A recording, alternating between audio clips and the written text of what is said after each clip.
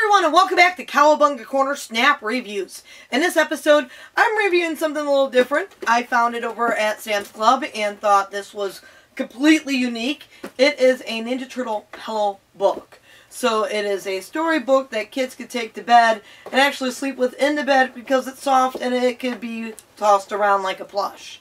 I want to open this and see what it has to offer. But first, of course, I'm going to show the box. You can see the, the book and actually feel it and everything right there.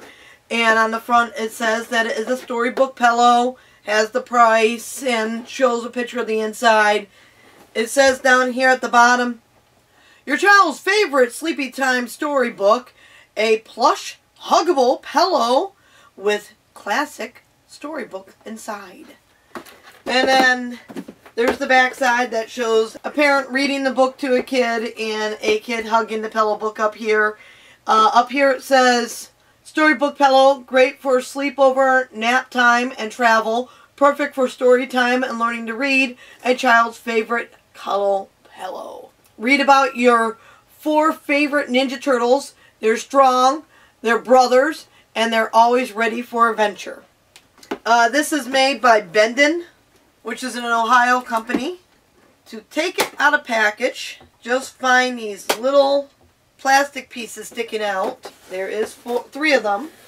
And then it comes right out of the box easily. There's nothing else inside the box.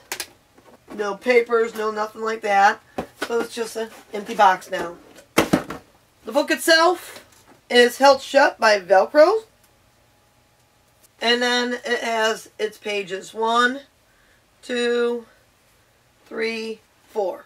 So it's a short story. Many years ago, a strange chemical turned four regular turtles into powerful mutants. Now they live in a secret hideaway deep beneath the streets of New York City. They're strong, they're brothers, they're always ready for adventure. They're the Teenage Mutant Ninja Turtles.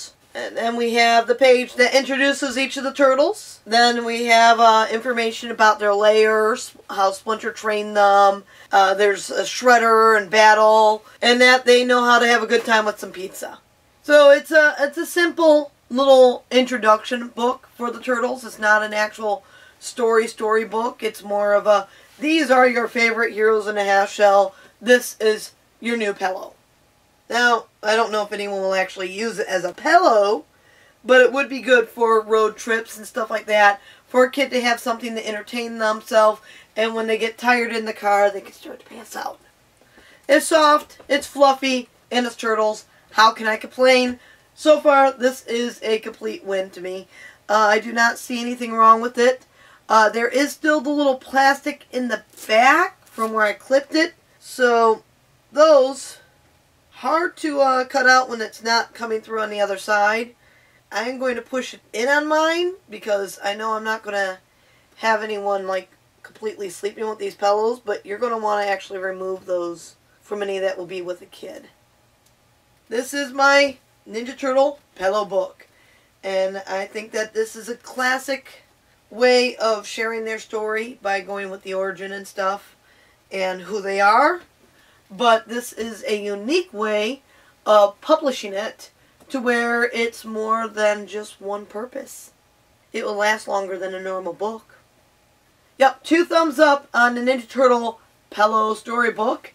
And uh, we will have a lot more Teenage Mutant Ninja Turtle and non-Ninja Turtle snap reviews here on Cowabunga Corner. Cowabunga!